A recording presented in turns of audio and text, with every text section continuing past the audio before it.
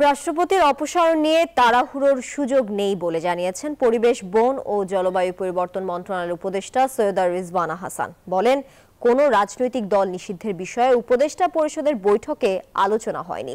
আওয়ামী লীগ নিষিদ্ধের জনদাবি উঠতে পারে, কিন্তু এ নিয়ে সরকারের কোনো সিদ্ধান্ত নেই। দুপুরে সচিবালয়ে এসব কথা বলেন তিনি।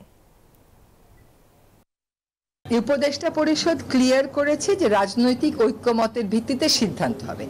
এখন আমি ঘোরার আগে গাড়ি কেমন করে বসাই, আপনি আমাকে বলেন। এখন রাজনৈতিক ঐক্যের প্রচেষ্টার ফল কি হবে, এটা না জেনে তো আমি আপনাকে কিছু বলতে পারব না। এটা একটা বড় সিদ্ধান্ত।